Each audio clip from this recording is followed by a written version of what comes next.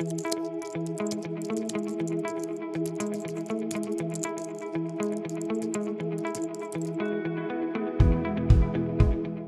is one of those viruses which uh, hasn't gone anywhere, and we know that it's going to hit us every year.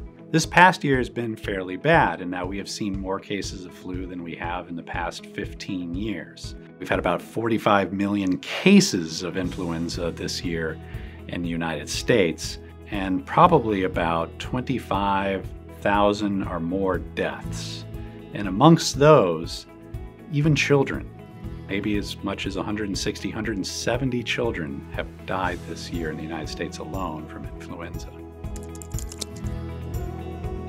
The symptoms of flu are fairly abrupt onset of things like fever, shaking chills, headache, cough, congestion, and it typically lasts about five days at the most. For a lot of people, that may be mild enough that they just stay at home on the couch for a couple days but for others, it does mean they can't breathe.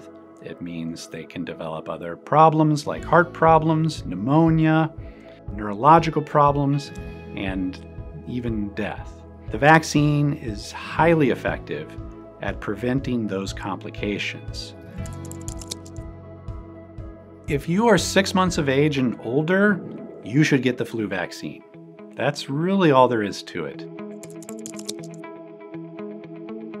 Typically, the best time to get vaccinated for influenza is around October to early November. And at that point, you can make sure you have maximal protection going into the flu season, which typically starts towards the end of November, goes through December, January, and February.